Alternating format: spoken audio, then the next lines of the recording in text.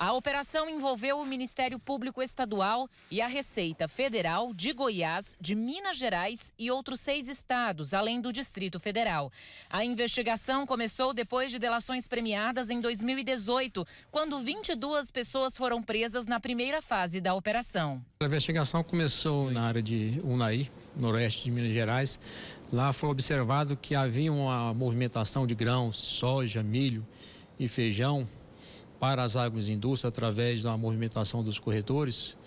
Tudo isso sem nota fiscal ou com notas fiscais frias. 109 pessoas físicas e empresas foram investigadas. No esquema, os corretores que faziam um contato entre os produtores de soja, milho e feijão e os compradores ofereciam notas fiscais falsas. Com isso, os produtores deixavam de pagar impostos e os compradores pagavam mais barato pelos produtos.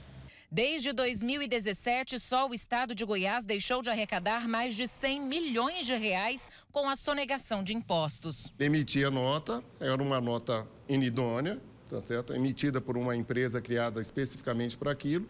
Ela operava durante um determinado tempo e depois sumia e não recolhia os tributos devidos. Em Goiás, os investigados atuavam em Campo Alegre de Goiás, Cristalina, Formosa, Jussara e Rio Verde. Essa é a segunda fase da operação e dessa vez ninguém foi preso.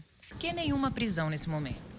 Porque agora que essa documentação apreendida ontem e hoje vai ser analisada para possivelmente poder respaldar uma apreensão dos, dos corretores ou de produtores ou de alguém do agronegócio ou de contadores que contribuem com esse tipo do modus operandi desse trabalho de sonegação.